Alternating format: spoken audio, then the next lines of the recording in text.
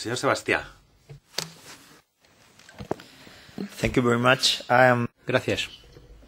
Soy ponente en la sombra en nombre del Grupo de los Verdes. Señora Itema, gracias por este informe. Sobre todo por haber incluido un punto que habla de la calidad de los suelos, un aspecto que nos preocupa mucho.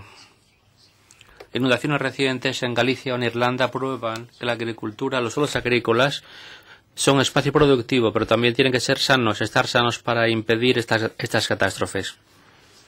Estamos convencidos que los suelos tienen que ser fértiles, ricos, diversos y llenos de vida. La innovación se trata de se cifra en cuidar lo que tenemos y protegerlo. Hay que respetar la naturaleza y no ir en contra de ella. Es más barato es importante a los productores y funciona mucho mejor. Estamos en ello, propondremos enmiendas sobre este punto para mejorar el informe, que es un punto de partida interesantísimo. Gracias.